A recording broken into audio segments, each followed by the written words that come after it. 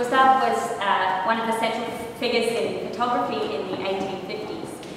Um, and he was one of the first to see photography as an art form in itself. And he had a unique technique where he would um, combine two different negatives um, with a different exposure for the sea and for the clouds. Um, he was really known for these beautiful seascapes that he would do. And that effect replicated the way the human eye sees it, which photography, um, the equipment they had back in that time wasn't able to capture iPhones still can't.